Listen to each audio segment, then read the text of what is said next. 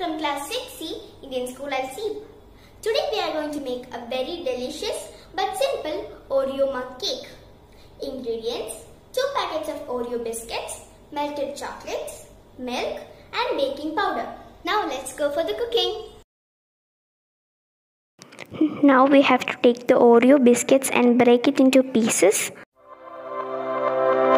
Then we have to put it in a mixie jar and grind it. Now we have powdered the Oreo biscuits. Then we have to transfer it into a bowl. Now we have to add milk to it. Pour it little by little until it becomes a paste. Now add baking powder and mix well.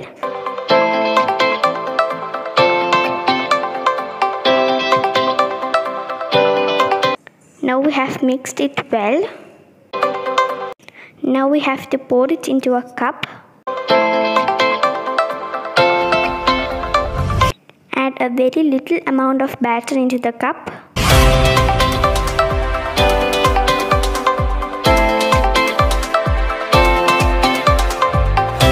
Then we have to add the melted chocolate into the cup. Now add the rest of the batter into the cup, not completely but till the half of the cup.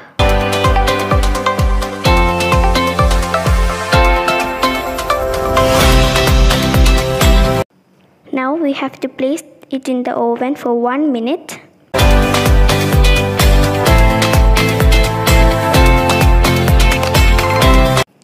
After 1 minute we have to carefully take it from the oven.